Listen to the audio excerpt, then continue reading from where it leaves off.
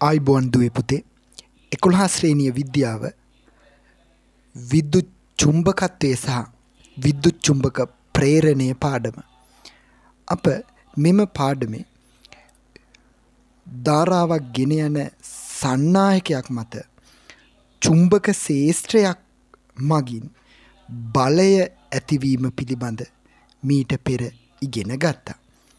ධාරාවක් ගෙන යන සන්නායකයක් චුම්බක ශේෂ්ත්‍රයක තැබූ විට එම සන්නායකය මත බලයක් ඇති වෙනවා. එය ප්‍රයෝජනයට ගෙන ස්පීකරය සාදා තිබෙනවා. චුම්බක ශේෂ්ත්‍රයක් තුල විදුලි ධාරාවක් ගලා යන සන්නායකය තැබූ විට ඒ මත බලය ඇතිවෙන දිසාව ප්ලෙමින්ගේ වමත් නීතිය ඇසුරෙන් සොයාගන්න ආකාරය අප මීට පෙර ඉගෙන ගත්තා. ශබ්ද විකාශකයක වලයාකාර චුම්බකයක් තුළ චලනය විය හැකි සන්නායක දඟරයක් තිබෙනවා. එම දඟරය චුම්බක ద్రව අතර ඇති ප්‍රදේශයේ ඉදිරියට හා පසුපසට නිදහසේ කම්පනය විය හැකි ලෙස සාදා තිබෙන්නේ. මෙම දඟරය වෙත මයික්‍රෆෝනයකින් ලබාගත් කටහඬට අනුරූපව විචලනය වන ප්‍රත්‍යාවර්ත විදුලි සංඥාවක් කුඩා විදුලි ධාරාවක් ලබා දෙනවා.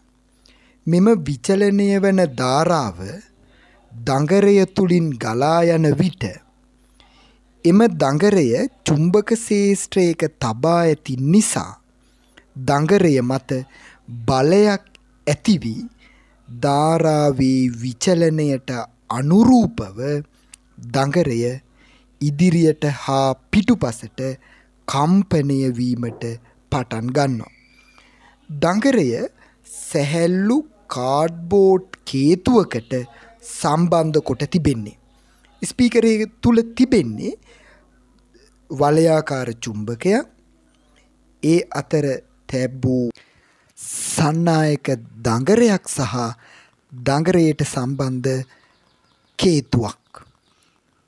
දඟරය තුළින් ප්‍රත්‍යාවර්ත ධාරාව ගලා යන විට ඒ මත බලයක් ඇති වී දඟරය කම්පණය වෙනවා. එවිට දඟරයට සම්බන්ධ කේතුව කම්පණය වීමෙන් ශබ්ද තරංග හටගන්නවා.